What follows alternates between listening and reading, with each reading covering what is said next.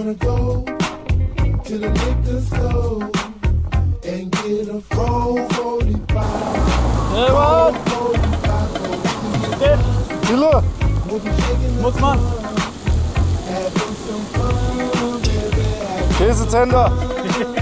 The crowd. Welcome party people, I'm so glad you're here. I wanna introduce you to my new beer. It's not Budweiser or Miller Lite. It's Colt 45 and it tastes just right. Colt 45 cheddar, so I flew to St. Louis and I brewed something better. Down with the trash, got a pimped out can. The name on the side is Afroman. When I was young, I used to drink OE. Now I brew my own beer like a real OG. I'm not just a cop, I'm a resident. I'm not just a client, I'm the president. Go to your favorite liquor store, request that brand new beer from Fro, so you can get drunk and I can get paid. Rest in peace, Mix Master You wanna go to the liquor store Philipp. Philipp.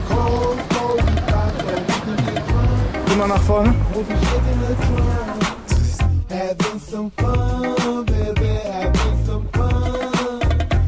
On oh, my way to the liquor